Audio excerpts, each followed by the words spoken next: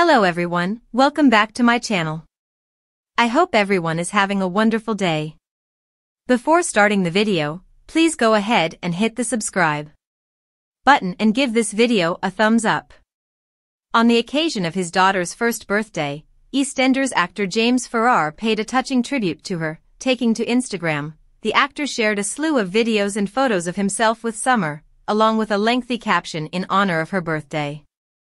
Summer Farrar, he began to write, Your Mamgu, Grandma, and her health, was the reason we decided to have you. We needed you to experience her strength and her magic. We have her in good health two years after her diagnosis, and we have you, one year old today. I was on set when I got the call to say Farrar you better come home. Ollie was already giving birth on the living room sofa with the midwives in the 60 minutes it took me to get back. Our miracle arrived after a few complications and some answered prayers, and our lives haven't been the same since, he wrote. He then talked about all the big things his daughter had done in her first year, such as going abroad three times and partying with Farrar's co-star Danny Dyer.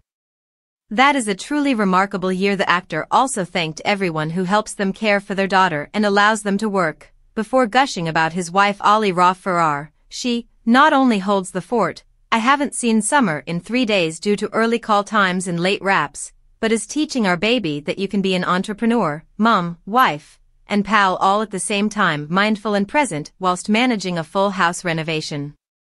I want you to learn the love you'll see in that room, Summer Girl, he continued. I won't get to see you today, and it breaks my heart, but I hope to spend every other birthday with you in years to come. Happy birthday, sweetheart X, he said at the end of the message fans and colleagues wished the actor and his daughter a happy birthday in the comments section of his Instagram post.